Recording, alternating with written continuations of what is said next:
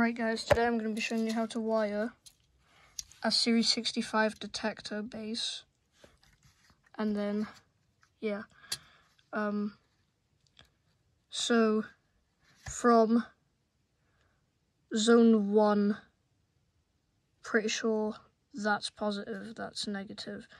I'll correct myself in the video if it's not right.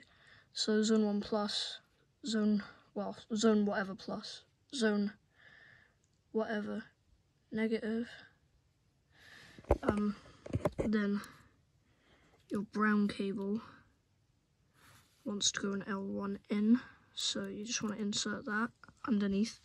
So unscrew that. And then do the same thing with your blue cable but just into the L2 terminal. Give it a little pull to see if it's tight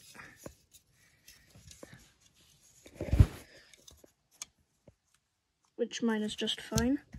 Stick your detector head on. And then I'm not going to do it just now, but spray, turn your panel on and spray the detector. This is conventional. Spray the detector and it should put the panel into fire and the LED should illuminate.